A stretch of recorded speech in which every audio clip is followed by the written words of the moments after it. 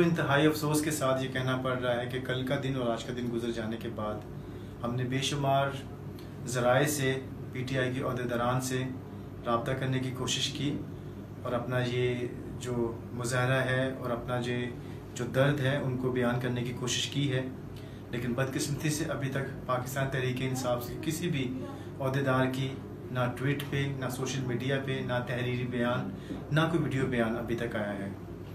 मेरे ख्याल से लगता यही है कि ये इनका पूरा इरादा बन चुका है प्लान कर चुके हैं कि ये चौदह मई वाला मामला जो है और चौदह मई वाला जो सियासी जलसा है, ये सियालकोट कन्वेंशन ग्राउंड में करेंगे।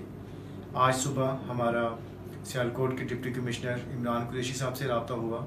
हमने वाजिया उनसे कहा कि कुरेशी साहब, अगर आपके एडमिनिस्ट्रेशन की तरफ़ से अगर इस सियासी जलसे की इजाज़त दी गई तो हम जो प्रेसिडेंट का ऑर्डिनेंस है, उसके मुताबिक हम आपके ऊपर, हमारी कम्युनिटी सिंध हाई कोर्ट में आपके ऊपर एक केस रजिस्टर करेगी।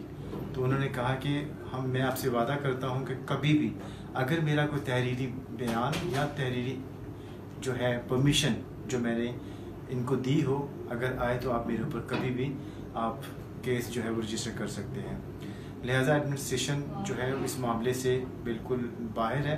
उन्होंने अपने कोई भी ताल्लुक इसमें कोई वाजिया सबूत नहीं दिया। अब हमें यही लगता है कि पीटीआई बजिद है। वो जो बात कर रही है, उसको पूरा करने के दर पे हैं। उनको ये अंदाज़ा नहीं है कि ये मजहबी मुकदस जगह है। यहाँ पे मजहबी क्रूसेड्स होते हैं, मजहबी इबादत होती हैं, लेकिन ये बजिद है कि उस जगह को मुकदस जगह को सियासी अखाड़ा बनाए। और ये बात मैं वाजह कर देना चाहता हूँ कि अगर जिस तरह गुजरे दिनों में पीटीआई के चेयरमैन इमरान खान साहब ने कहा कि हज़रत ईसा का तारीख में कोई ज़िक्र ही नहीं मिलता। तो वो बात पाकिस्तान के क्रिश्चियन अवाम ने उसको गुजार दिया और भूल गए। लेकिन अब अगर सियालकोट कन्वेंशन ग्राउंड में मुकद्दस जगह को सियासी अखाड़ा बनाया गया तो अब पाकिस्तान के क्रिश्चियन अवाम पाकिस्तान तरीके इंसाफ को माफ़ नहीं करेगी। और हम आपको वाजिया कर देना चाहते हैं कि हम सोशल मीडिया पे और हर ज़राए से हम इस चीज़ का दिफा करेंगे और हम पार्टी के जो है उसकी इस बात को हम जितना हो सकेगा हम नशर करेंगे। शुक्रिया।